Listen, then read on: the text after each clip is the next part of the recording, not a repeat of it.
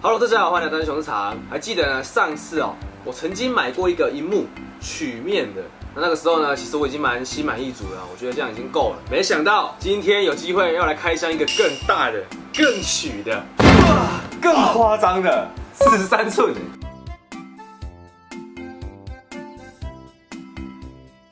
有了，我拿起来了，各位观众，快场了，等下？哦，我要先放下来，我要先放下来。长到就是放不下我的荧幕里了，好不好？他这边有写到说，呃，要在箱子里面的时候呢，就先组装啊，然后再把它翻过来拿出来。结果我是直接组装了，超叛逆有没有？超叛逆，完全不照说明书走，我就是这么叛逆。好了，各位，那我们现在呢就来看一下开机的画面哦。我第一次不知道要怎么构图，你知道吗？我知道用这样的方式来呈现了，因为它真的太长了，我不知道怎么拍。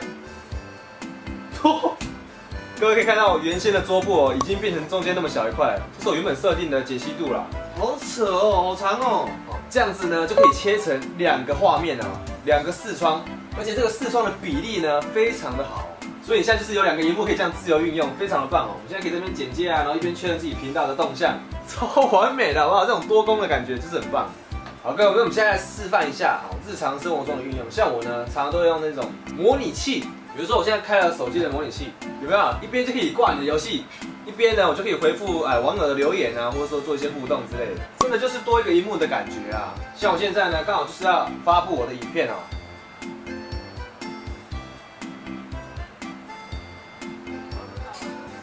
OK，这样搞定了。然后我还可以一边观察我的，哎呦，战况如何？然后一边看一下留言。哦，头像哦，头像头像好多头像。好，分割的功能展示就到这边。接下来呢，我特地跟我工作室的伙伴孙熙借了他的 Steam 账号，它里面呢有些游戏哦，非常适合这种荧幕玩。我们等下来看看实际的效果怎样。好，各位，我们现在实测游戏呢是欧洲模拟卡车哦。吼，四 K。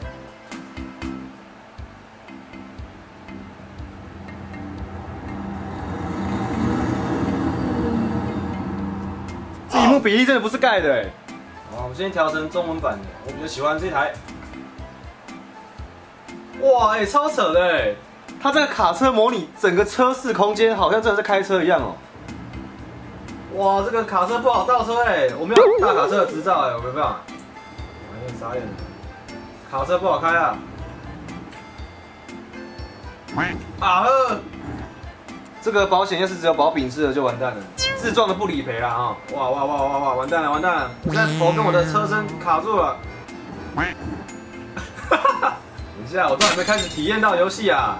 我现在呢就可以看一下这里面车室的结构，比如说我们的诶方向盘啊、仪表板啊，然后你的收音机什么的哦，导航、手刹车、副驾驶座，甚至连上面的哦呦 radio 无线电都可以看得到。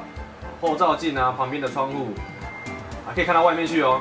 开这种大卡车跟我们开那种小客车是不一样的感觉，完全不一样。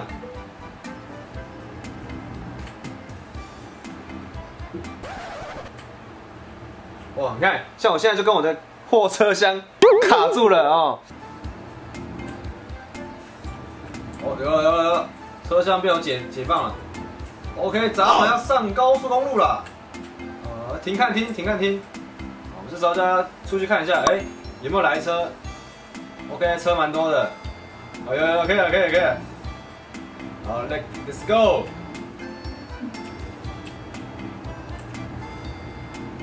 好，我们就正式踏上我们的送货之旅了，好不好？我们来体验一下大卡车司机的辛劳。大卡车的死角真的很多啦，所以千万不要在旁边这边闲晃，好不好？让一下。OK 的，我们现在往哪边走？啊啊，完蛋，有没有？看。哇，有没有看到我这个技术？哇，真的刹不住了！哇哇哇！好了，完蛋了，这就要叫警察来量了。好，OK，这样我们就送完了。啊，送完了，进去一下。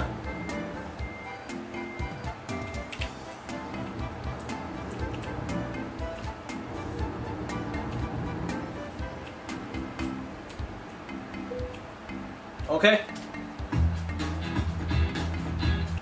好，接下来我们就来玩一点小品类的，因为我真的有三 D 晕啊，所以刚刚那个实在是有点受不了。哇，超大的，有没有看到？哇，让我回想起那时候玩这个游戏的时候了。我记得那个时候打到越王吧，哦，我们那时候玩到最强的王就是越王。这视野这样的话就很棒嘞，因为以往啊，我们可能就只能这样子而已，这样子而已。现在整个往旁边扩展出来，拿我之前那台曲面来讲的话，就是多了一半，多了一半的视野。好的，各位，更厉害的来了，注意看这个画面，有没有发现哪里不一样？哎，左边是我 Mac 的，右边是 Windows 的电脑，这就是它厉害的地方。它可以分别呢接两个讯号源。